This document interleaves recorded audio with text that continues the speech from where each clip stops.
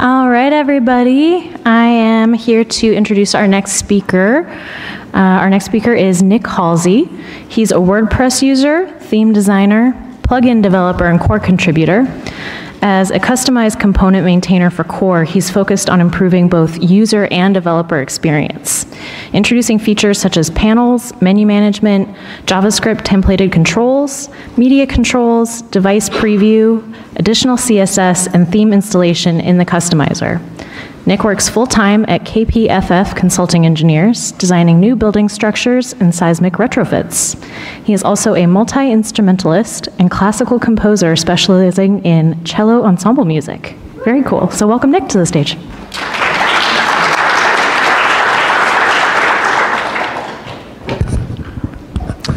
Hi, so I'm Nick Halsey, and today I'm going to be talking about seven keys to sustainable WordPress projects inspired by buildings.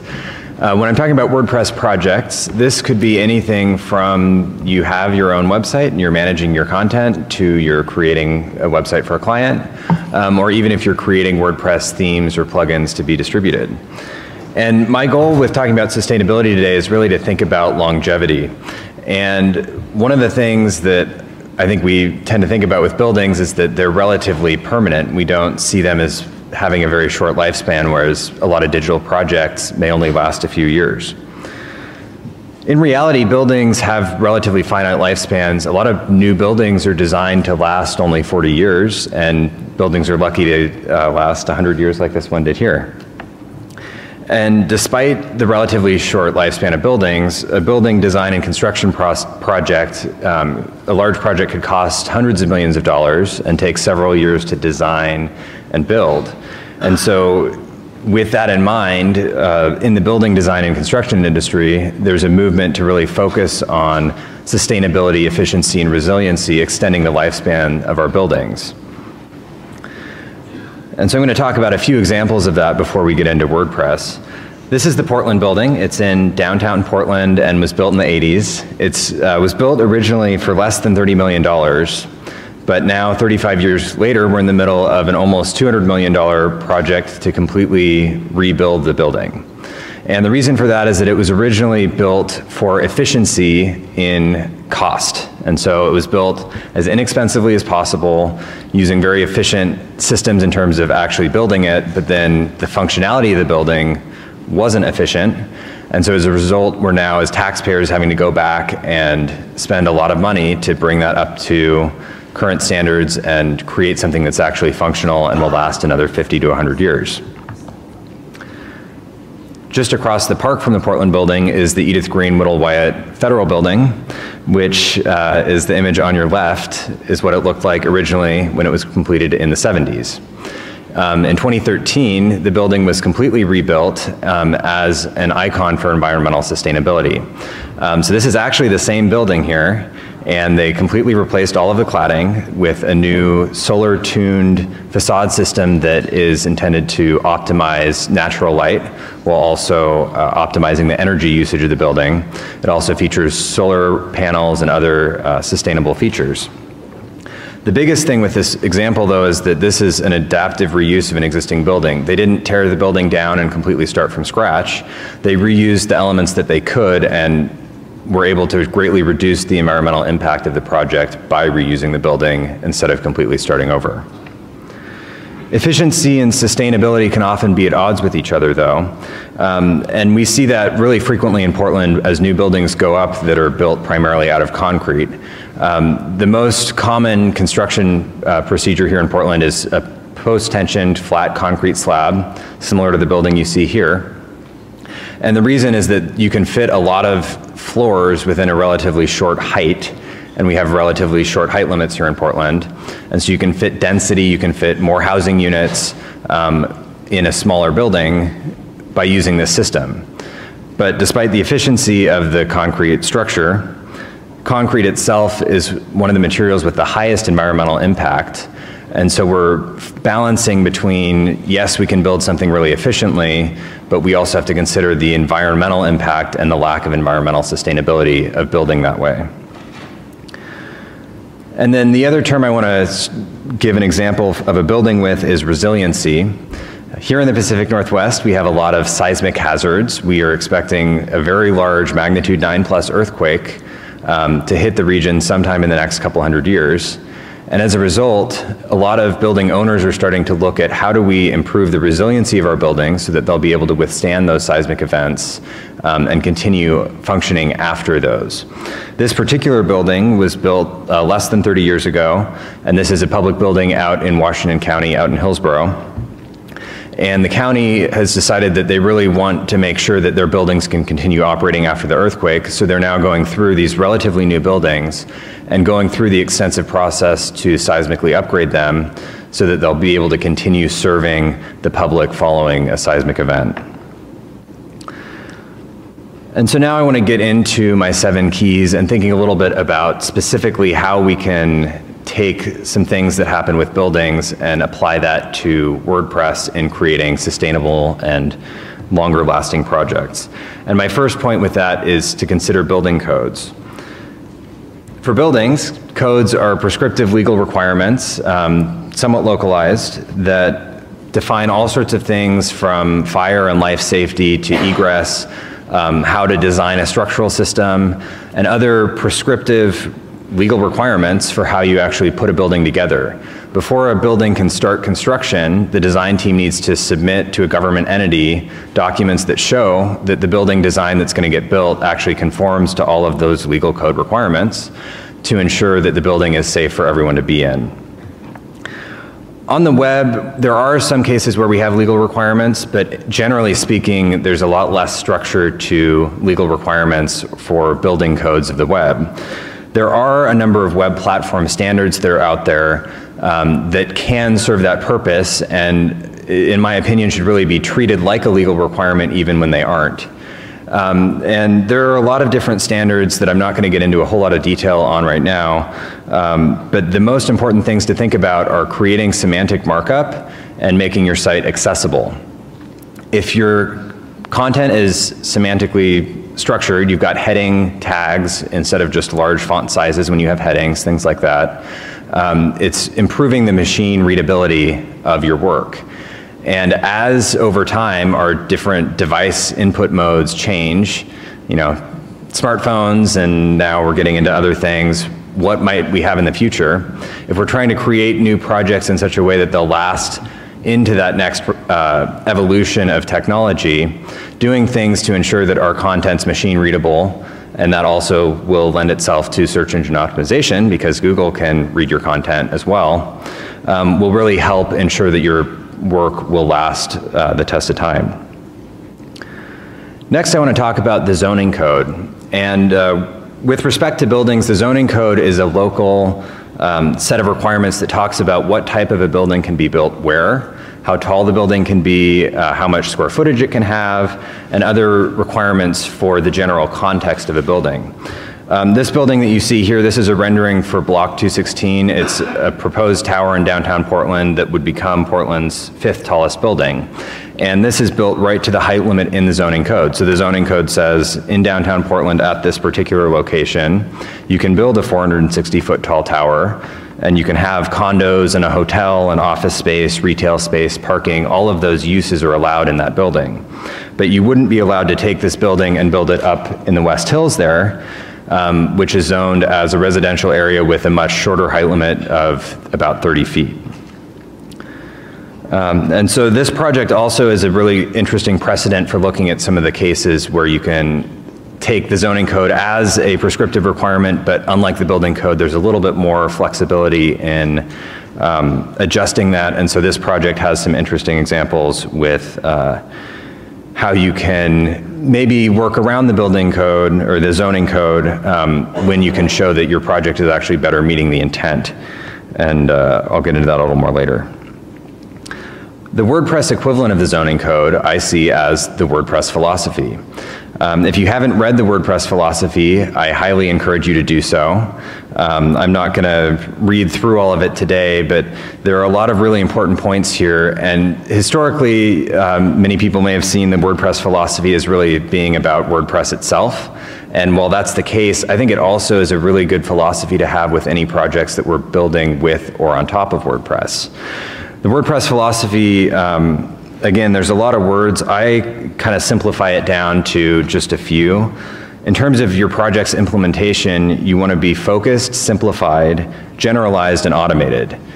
Really seeking for the most simple approach to any problem, um, focusing on those goals. Also being generic, so for example, if you're creating some functionality for a client, think about, is this something that if I go to slightly more effort, I could actually turn into a plugin that I can reuse for other clients or maybe even publish on WordPress.org um, and other people can use it as well. Um, and then also automating things wherever possible. So if you're creating a theme or a plugin, creating an interface, automating those tasks that could be repetitive so that users have the most streamlined experience possible. There are also a few process-oriented points in the WordPress philosophy and I like to summarize those as being as iterative as possible, which I'll get into a little more later. And then also being attentive and open. Open to the license of WordPress, the GPL, and the four freedoms that it presents. Um, and then also really paying attention to your end users. Um, there's a rule called the vocal minority that says that only 1% of the people actually using your product will ever contact you about it, or you'll only ever hear from 1% of your users. And so keeping that in mind and really seeking out feedback from a broader base of users is important. My third point is design review. And in Portland zoning code, we actually have um, areas in Portland that are required for major projects to go in front of an appointed design commission that reviews projects with the architects before they can actually move to the process of that legal building code review. And this ensures that we have a coherent city where our buildings work together and provide the best experience possible for pedestrians. This particular project is at the corner of Burnside and MLK um, in the Central East Side Industrial District here in Portland. Um, and these are the first two designs that were presented to the Design Commission. Um, that initial design on the left, there were some concerns that the top and the base of the building didn't really relate to each other and that the overall massing and shape of the building could be perceived as a really large, imposing block as opposed to something more refined like a lot of our buildings are here in Portland. Ultimately, the design team came to this project here, or to this uh, iteration of the design that you can see with a little more context here. This is actually located right across the Burnside Bridge from the somewhat controversial yard building, which you can see up there. And so it was really important at this prominent site for this building to respond to, yes, we've got th this very innovative architecture happening right here. Um, and how do we take that and respond to it with the next generation of a building at this site? And even though the architecture team was considering that throughout their process, having that third party design review process um, as part of their work really allowed the design to evolve to something that is going to better fit our city. And this project is currently under construction. Um, this was a couple weeks ago. If you drive over the Burnside Bridge frequently, you're, you're going to start to see this popping up above grade in the next couple of weeks.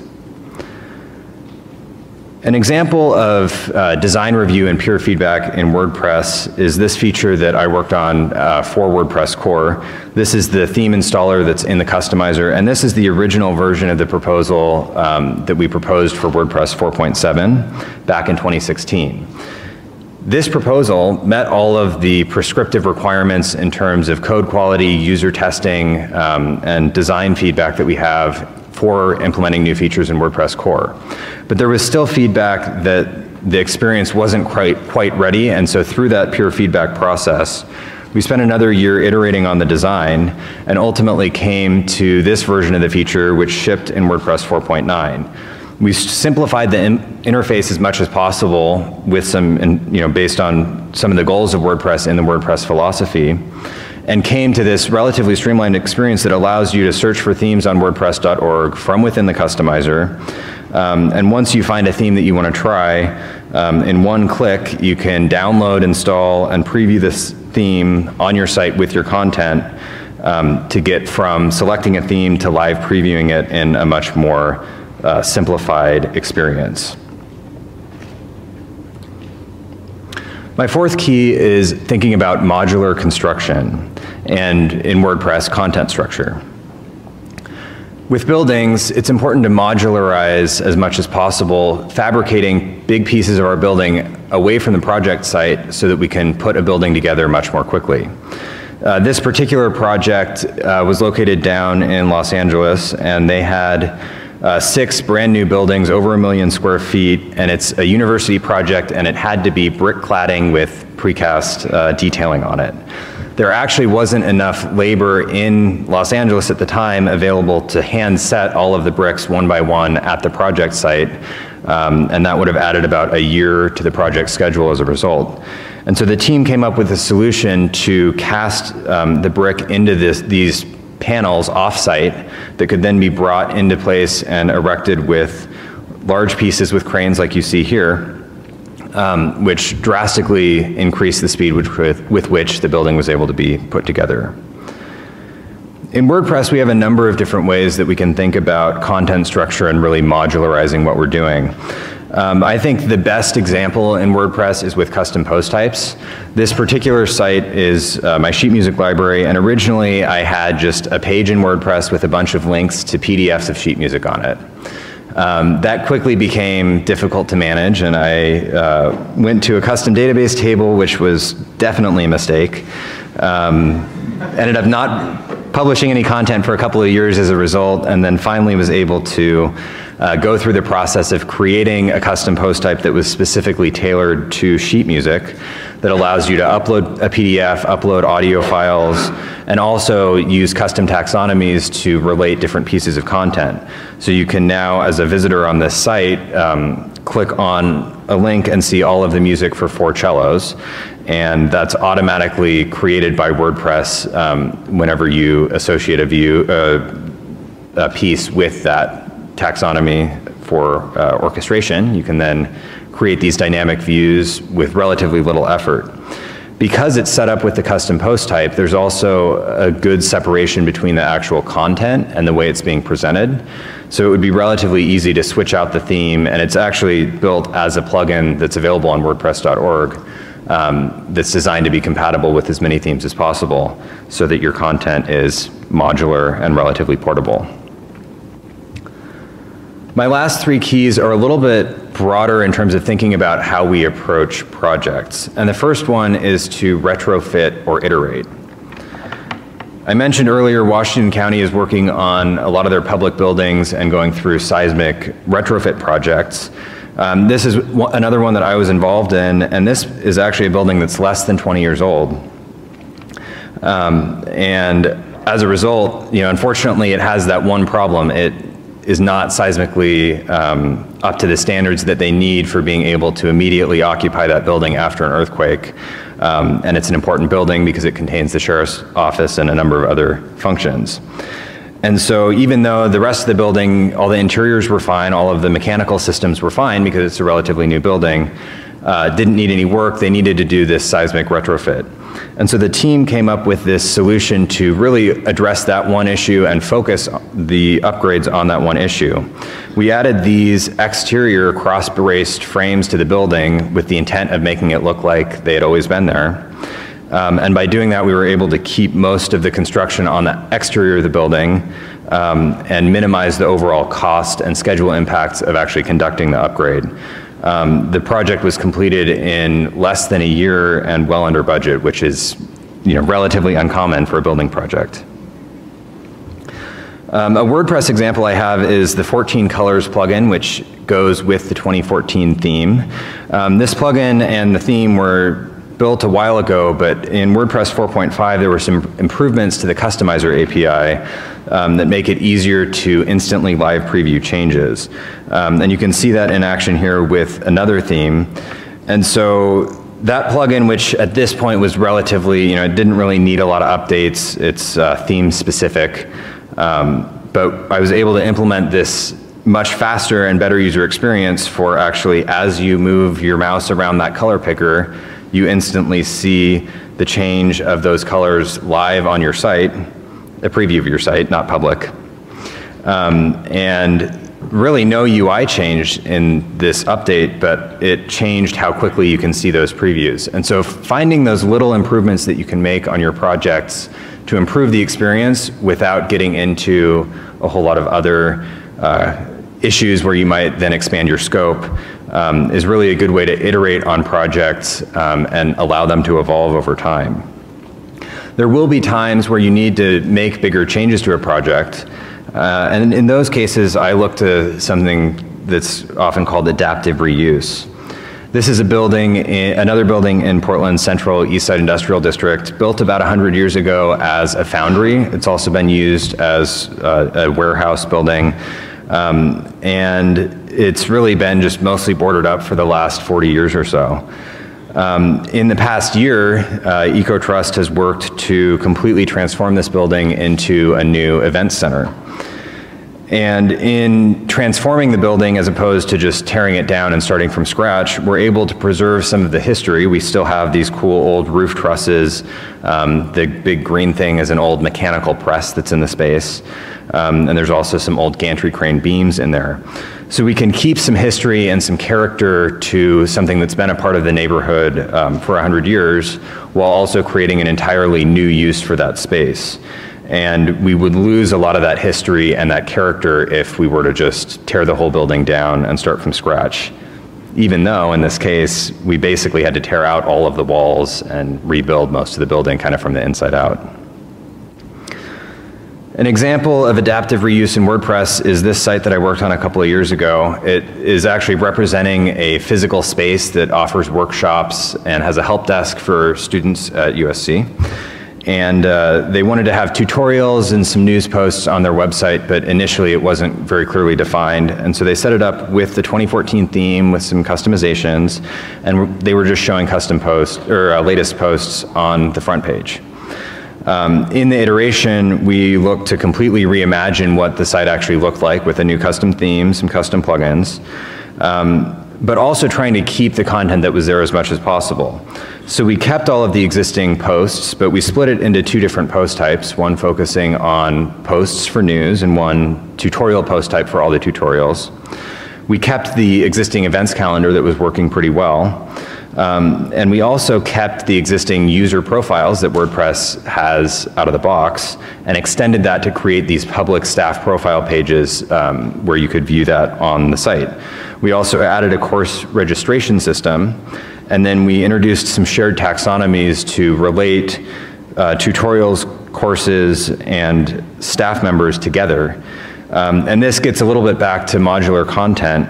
This allows you to automatically get views like this out of WordPress where we have this tool taxonomy, and in this case the tool is Adobe Illustrator. And you can see on the taxonomy archive page, which WordPress generates automatically, all of the different staff members that are experts in this so that if someone were to go into this space and want to talk to an expert, they know who they can talk to. We also show all of the different tutorials available on the site as well as courses.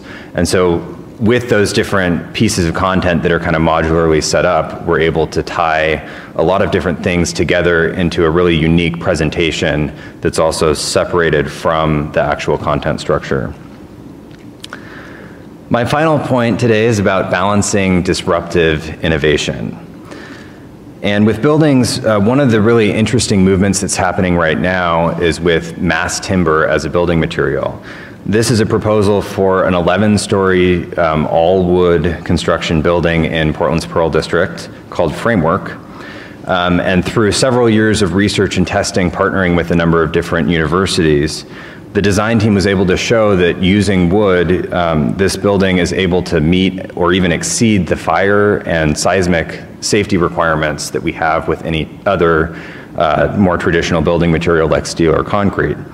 And at the same time, wood is inherently much more sustainable than a material like concrete because it actually sequesters carbon rather than emitting it um, when you use it in your buildings.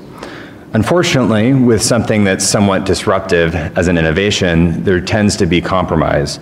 And in this case, the compromise was cost. Because it's a more innovative material, it was a little bit more expensive. Um, this project would have created affordable housing, but there was some concern about um, you know, that higher cost per square foot to build it. And so as a result, um, it's currently looking like this building won't get built. But it has done a lot of the research and paved the way for new um, code allowances to create taller buildings out of wood, and we're starting to see a lot more interest in new buildings built out of mass timber here in Portland. In WordPress, we're currently undergoing a very disruptive innovation. Um, if you haven't heard about the Gutenberg project, now would be a good time to start learning about it. Um, it's currently scheduled to ship with WordPress 5.0 in about two weeks. Um, this is also a disruptive innovation, and I would say, you know, it also does have some compromises that it's making. Right now, it's looking like those compromises are largely going to be related to accessibility of the actual editor. Um, and also, in a lot of ways, backwards compatibility. It's going to be a little bit harder to transition a lot of older projects into this new experience than uh, with a lot of other features that we've had introduced to WordPress recently. And so, with all of our projects, um, I really think these seven keys are important to think about when we're seeking longevity. Looking at the building codes of the web, following standards wherever possible um, to try to set ourselves up for, as standards and technologies uh, evolve, um, continuing to uh, really meet the intent of those standards and allow our content to also evolve. Considering the WordPress philosophy, um, really seeking out design and code review and trying to make that a part of our processes being modular with our construction, using custom post types. I mentioned Gutenberg. Uh, Gutenberg is block-based, which is actually, in theory, a really nice way to modularize how you're creating your content. That being said, the implementation of blocks right now, uh, most blocks actually aren't really any more modular than the way content's currently stored, and the exception is with reusable blocks. So I encourage you to look into reusable blocks as well as custom post types, even with Gutenberg, um, as ways to modularize your content. And then when we're looking at projects, really looking to retrofit and iterate as much as possible, seeking out those specific points that um, where your project could improve and targeting fixes on those items. When you need to make larger changes, adaptively reusing your product, um, whatever you can. So keeping those important elements of a project and reimagining everything else that could be improved. And then when we have disruptive in innovation, um, really balancing it, thinking as a community, and then also for individual projects, how we navigate those changes um, to help our projects evolve into the future. And with that, I'd like to take any questions.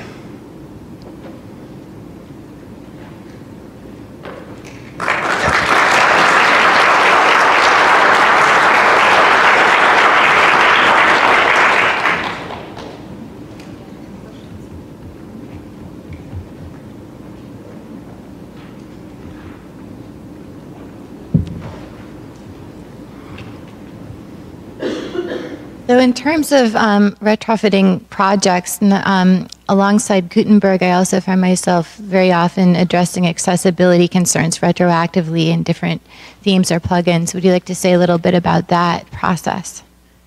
Sure, in terms of how you can retrofit accessibility into something that's already there. Yeah, it's um, hard, and I think that's where when we create a project, if we think about accessibility from the beginning, it's much easier to actually make that a part of our process, our project, and then continue to maintain it moving forward. Whereas if you're approaching a project that's already out there and has been out there for a while, and maybe there's a lot of content in it already, that's going to be a little bit harder to actually add accessibility back into. Um, and so that's where that project that might just be a you know a small iteration. Oh, we're going to add this one feature. Well, accessibility is a lot more than just adding one feature. And so that's where it's more of an, you know, you're adaptively reusing. You're basically potentially going to have to reconstruct a lot of what's there um, if it wasn't addressed from the beginning. And so I think that's where it's, it's important when you're approaching new projects to really make sure you're thinking about important things like accessibility from the beginning. Um, and then when you got to go back and retrofit it in, it's what you got to do.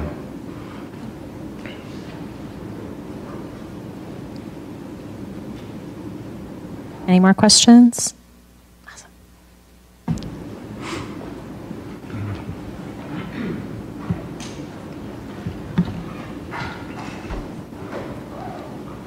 Thanks for the awesome talk, Nick. I loved it. So, as an Oregonian, I'm terrified of the big one. Live every day in fear. Uh, could you speak a little bit more about seismic retrofit and are you know are the projects that you take on for seismic retrofit you know keep the building up or do you think the building will actually like stay operable or Yeah, the it- knowledge on the current thinking of seismic retrofit Uh, for a particular building or just in general? just generally In general? Yeah, so I think um, a couple of things we can talk about. So this is a proposed new building, relatively tall new building in Portland. Um, and so obviously we're designing it to the best of our knowledge uh, to withstand a very large earthquake. But there's always a, a trade-off between the cost of, uh, you know, earthquake resiliency um, in terms of your construction cost and then what you get out of it. And so for new buildings, we still in a lot of cases aren't necessarily designing this building to, okay, after the earthquake, you can immediately move back into it and continue using it. Um, the performance object- objectives and then how it calibrates to specific earthquake mag- magnitudes are somewhat complicated, um, but I, I'll basically just say that for a lot of new buildings that are going up even now, um, there may not be a guarantee that after an earthquake it's going to be economical to repair the building. It may make sense for a lot of buildings, even new buildings now, to actually tear it down and start over from scratch after the earthquake. So that's something we have to kind of keep in mind is there's a high cost to doing, to really good seismic performance. Um, but there were a couple projects that I talked about. Um, this was one of them where Washington County with these public buildings is really focusing on that as one of the primary drivers of a project is, you know, we really need our buildings to be able to operate following an earthquake. And so they're really, you know, putting in that extra cost to say, okay, we're going to take it a step further. Um, yes, we meet all of the requirements of the code, which are, you know, that a building may be safe but may not actually be able to continue operating. Um, and they're saying that they want that building to remain functional following an earthquake. I would like to point out to those who don't know, that's actually a jail, which is why you're so concerned about it remaining functional. Yes, so this is, this particular building um, is out in Hillsboro. You can kind of see there, back behind is the jail, and then this is the sheriff's office and uh, courtrooms and some other functions in this part here. Um, So it's important for buildings like this uh, to remain standing following an earthquake. Just to kind of tie that back into WordPress, say you have a catastrophic event with your site. Yeah. How does that, I mean, is there, is there pre-planning you can do in that case Mm-hmm. so that you, you you can reduce or consider just completely destroying and starting all over again? It's a great question. I think it depends somewhat on, you know, what the event is and how the site's set up. I think um, a lot of the things I've talked about, so if your site is set up relatively modularly and it's like, okay, something went drastically wrong with our events calendar plugin and, you know, we've lost a lot of this stuff, but oh, really it's that catastrophic event is isolated to that one part of the site and maybe that's a big part of your site with events, but if you can turn that off and then focus on fixing that part and the rest is still uh, working just fine, that's some, somewhere where, you know, if you set it up where it's a little bit more modular, you're able to isolate potential issues. Um, if it's, you know, a problem with a theme that has gone horribly wrong, which I'm sure many of us have seen, um, you know, that may be a little harder if, you know, you got kind of locked into a theme that wasn't being good about how it was storing the content. Um, and then I would just say, you know, once you go through that process of fixing the problem, really try to set it up so that moving forward, there, the site won't be locked into a given theme, um, and you'll be able to sort of fix it once as opposed to just going through that process again in another couple of years. Yeah. I have a question about Gutenberg and I have a question about Gutenberg. Um, Mm-hmm. Using the earthquake analogy, how big of a disruption is that going to be? Is that going to be a little one? Is that going to be a 10.0? What are we looking at? Yeah, I, I- you know, I think there's a, a few different levels. So there's sort of the community level of it. There's the WordPress core and backwards compatibility level, and then there's also the level of sites that you maybe created for clients or your own sites. Um, it really depends. In a lot of cases, it's the type of thing that it's intended to be that you can just turn it on, um, and then you know start creating new content it, and it'll continue working with your theme. Hopefully, your theme has added support for some of the new features, um, and as a user, it'll just keep working seamlessly.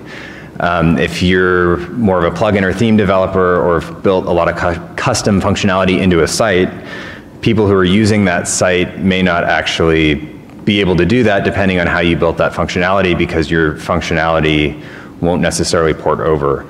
I think the biggest disruption that's going to hit really the vast majority of sites is that the editor styles that we have right now um, are not backwards compatibility, not backwards compatible with Gutenberg. So you have to create a new editor style sheet. And so if you had previously been able to actually see within the editor, okay, this is the font that's on the front end and it's the same colors and everything's matching, um, which a lot of people managing content like to see because then when you're you know aligning your images, you can kind of see how lines break and things like that. Um, that type of experience is immediately going to be gone unless you go back and add um, the new editor style format into your theme. Um, so there's sort of the more minor, it's kind of a bummer, but it still works type of a break. And then there's sort of the bigger scale. Um, you know, if you've got this plugin that adds a meta box that no longer works, and that's critical to your site, then you either can't upgrade or you have to come up with, you know, you got to get someone to actually go through the process of updating all that code to the new system. When, when does this come out? That's, yeah. so that's a great question. And, and this, Is it retrograde? Yes. So the, the, it is a project that's been in development for a couple of years now. That being said, it was announced about a month ago that it was targeting shipping with WordPress 5.0 November 19th of this year. Um, so I think that's kind of that's a decision that was kind of made at the top of the project, and everyone else is kind of reacting to it. That being said, a lot of different people who have uh, tested Gutenberg are starting to find um, certain things. The accessibility team, in particular, um, ha- has been able to quickly point out. You know, there's been a lot of good work on accessibility in Gutenberg. It'll help you create more accessible content with WordPress. But the experience of actually using the editor with Gutenberg um, is much harder if you're using a keyboard or a screen re- reader and you don't have a mouse, you can't use a touchscreen. Um, so, two weeks away is basically where we're at. Um, but I think it's important as a community, if we see major red flags, to raise those red flags and see what we can do to try to improve the way that process works. Okay, I'm using Gutenberg on some websites already that I'm building, but isn't there a plugin to stop it on? Yes. Yes. Let's hear about that. Yeah, so there's a plugin called the Classic Editor plugin, which basically just you know keeps the current editor screen. The other thing that I would note is for custom post types, um, unless you're specifically declaring that they support that they should be shown in the REST API, um, it'll default back to the old editor for now. So a lot of custom functionality that may have been built that way may not automatically just make that switch when you up, update to WordPress 5.0. So definitely it's important to keep WordPress up to date. You do need to update to 5.0, but if you're not ready to use Gutenberg yet, there is the classic editor plugin. Um, and I think on client sites, if it's something that's not act- actively being maintained by anyone, um, that's definitely a good route to look at.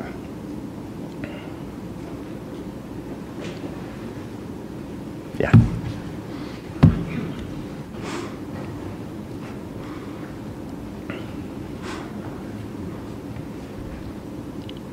So I know like you did a lot of work with the customizer previously and then kind of stepped away from WordPress a little bit. I'm not interested in sort of the reasons and that's personal to you, but uh, and now you're back here at WordCamp presenting, which thank you for that. But can you talk about sort of, you know, I've been in the WordPress space for many years and haven't taken that step back. Did it, you know, was that like mentally refreshing? Like, did it give you different perspective? What were kind of some of the pros and cons of just stepping away for a bit?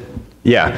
Um, yeah, so it's interesting. Um, I was very heavily involved in contributing to WordPress itself um, for a few years there. Um, and then kind of stepped, stepped back a little bit um, when I started working full time in a completely different industry. Um, but I have continued working with WordPress. Um, I have a, a, bunch of plugins and themes, um, and I regularly work with WordPress on my own sites. Um, so I think it's important to get some perspective. Um, for me, it also kind of coincided with a shift in the way the project was being managed and led. It was kind of when the, that Gutenberg project was getting started, um, and the way that that was approached maybe didn't quite align with the way that I felt my you know contributions would be as valuable. Um, and so I think it's important to always look at you know trying to be involved um, in whatever way works for you at a given time. Um, so if you think, you know, hey, I'm going to help organize a WordCamp, volunteer, that's something that I'm really interested in and passionate about. I encourage you to do that. If you really, you know, if you're scared by Gutenberg but think it's really cool or want to learn more, I definitely encourage you to dive into it and, you know, be vocal online about, you know, and not just on Twitter, but in the official channels talking about, hey, you know, this is what we have, it could be really great, here's what I think we should do to make it better. Or, hey, I found this bug. Um, you know, reporting issues like that is just as valuable as actually working on code for core. Um, so if you've maybe thought about getting involved in core but haven't, I definitely encourage trying it because it's something that as a community we need to keep WordPress moving forward.